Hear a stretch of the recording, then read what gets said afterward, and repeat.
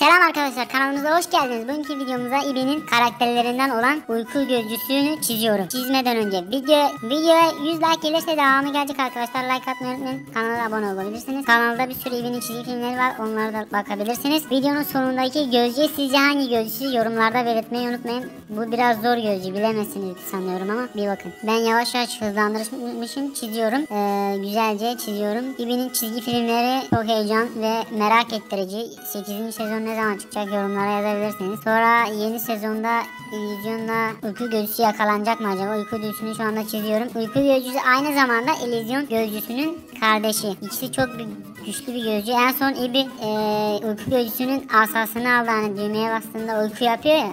Herkes uyutuyor.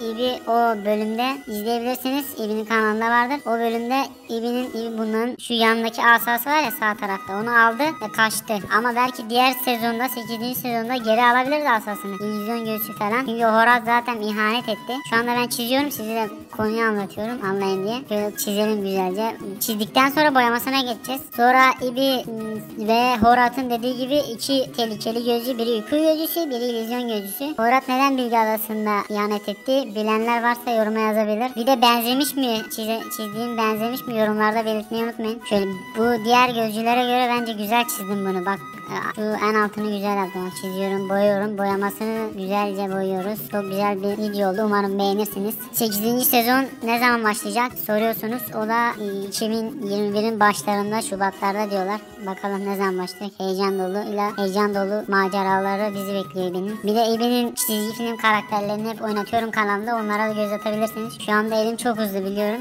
Çünkü videoyu hızlandırdım. Yoksa çok uzun sürerdi. Yani çizdim, toparlıyorum. Videoya like atın. Kanala abone olmayı unutmayın. Bir dahaki videolarda görüşmek üzere. Bir de hangi gözcüyü çizmek istemek istediğimi istiyorsanız onu da yorumlarda belirtin. Video 100 like gelirse devamı gelecek. Bu hangi gözcüyü ben hangi gözcüyüm sizce yorumlara yazın. İbi'nin boyama videoları gelmesini istiyorsanız 100 like atar mısınız arkadaşlar? Hepinize çok teşekkür ediyorum.